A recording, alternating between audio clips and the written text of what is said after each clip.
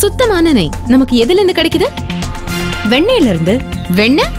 தயிர்ல இருந்து S so தரமான தயிர் தயாரிக்கிற நிறுவனத்தில இருந்து தான் சுத்தமான நெய் கிடைக்கும். அப்ப சுத்தமான நெய்னா? மில்கி மிஸ் நெய் பெரும்பாலான பிராண்ட்ல தரமில்லாத வனஸ்பதி பட்டர் ஆயில கலந்து நெய்னு விக்கிறாங்க. மில்கி மிஸ்ட்ல பால் தயிராகி வெண்ணெயாகி சுத்தமான நெய்யாகி ஃப்ரெஷ்ஷா உங்களுக்கு கிடைக்குது. கலப்படமில்லாத மில்கி மிஸ்ட் அக்மார்க் நெய் தயிர்ல இருந்து எடுத்தாதான் நெய்.